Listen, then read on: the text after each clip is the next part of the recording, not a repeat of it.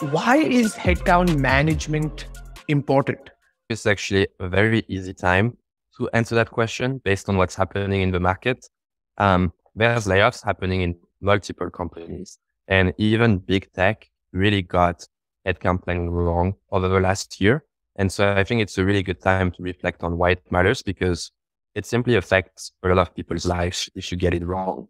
And so for startups specifically, especially in finance, where financing a startup is much more strategic than it may be at certain, let's say, later stage companies, you have a lot of influence in finance over the hiring decisions being made because there's just so much money that we have at the end of the day to spend on things in the early days. And so we want to make sure that we hire at the right pace and that we hire the right people. And if we don't do that right, we don't get that next round. And so that then becomes a finance problem.